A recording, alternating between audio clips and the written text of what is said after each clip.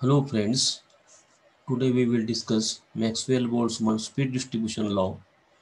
I am Dr. S. B. Kolle, Department of Physics, Shivaji College, Kannada District, Aurangabad. So students,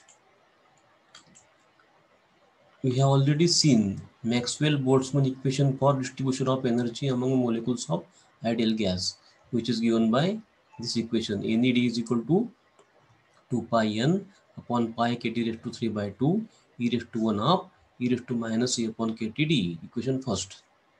Now for classical ideal gas there is no interaction between molecules of and each molecule is distinguishable from one another.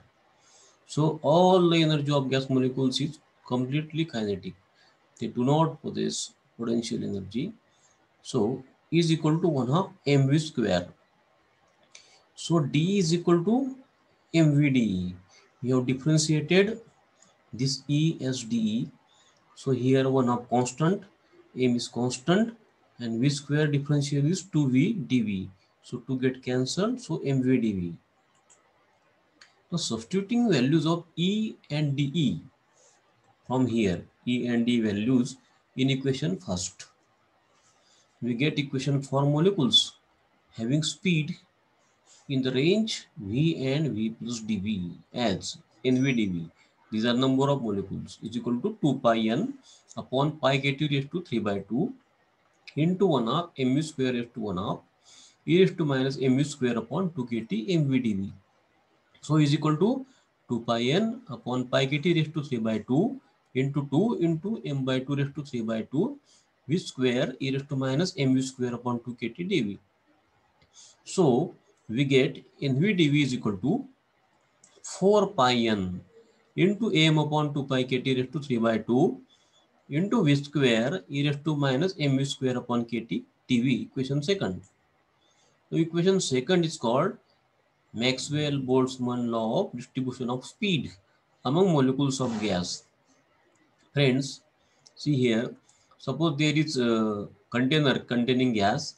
So the molecules of the gas are continuously in motion. They perform zigzag motions and they collide with each other like this. So, uh, but the speed of the molecules, velocity of the molecules is not same. Some molecules having less velocity, some molecules having greater velocities, and so uh, the velocity ranges from zero to infinity. Here in this graph, it is shown here on x-axis molecular speed is given and on y-axis fraction of molecules within 10 meter per second of indicated speed is shown. So see here these are the different cores Maxwell-Boltzmann cores for different gases and here molecular speed is given. So friends let us consider case first if v 0 in v 0 means if velocity is 0 number of molecules having this zero speed means there are no molecules having zero speed so in v 0 okay second for small speed value v mu square upon 2 k2 2 kt is very very less than 1 and e raised to minus mu square upon 2 kt is equal to 1 so nv proportional to v square means this nv value increases parabolically like this with increase of value v and attains maximum value for particular value of v. Now we will see in next graph.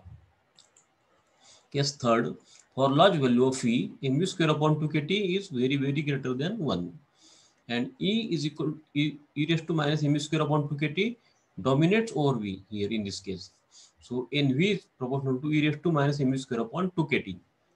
So this nv value decreases exponentially with increase in value of v. This is shown graphically. See here from this graph, here on x-axis, velocity is shown v. On y-axis, nv number of molecules are shown. So the graph is bell-shaped graph and see here, this portion up to this portion, this portion shows v square dominates. And this portion shows e raised to minus mv square upon 2 kt dominates like this. So see here, this dotted line shows VMP means most probable speed.